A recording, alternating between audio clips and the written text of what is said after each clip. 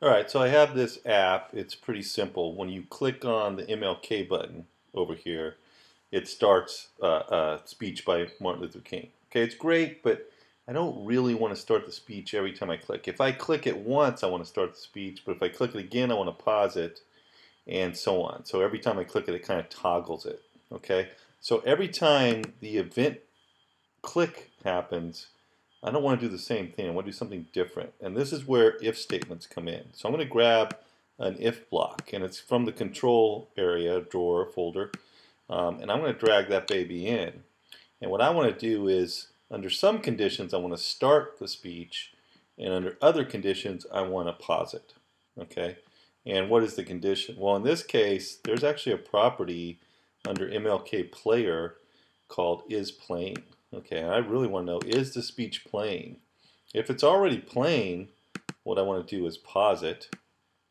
Okay, but I want to start it if it's not playing. So I need kind of like a else.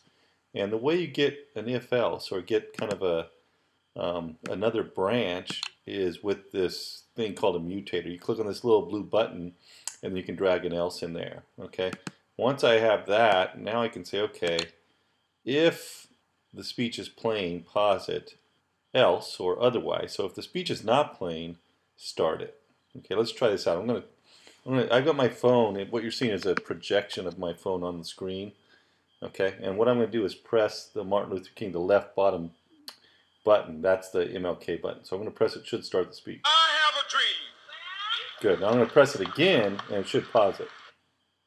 Okay, if I press again, start it back up. Okay, so you know these if statements are kind of fundamental to programming. You'll see them all over the place. Um, they let the app make decisions on events. So this, you know, who knows what the event be, might be? It might be someone shaking the phone or an incoming text. But when an event happens, you can always let the app make a decision. In this case, we're deciding whether to pause or start start the speech.